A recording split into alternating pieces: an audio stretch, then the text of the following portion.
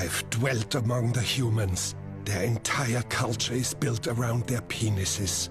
It's funny to say they're small. It's funny to say they're big.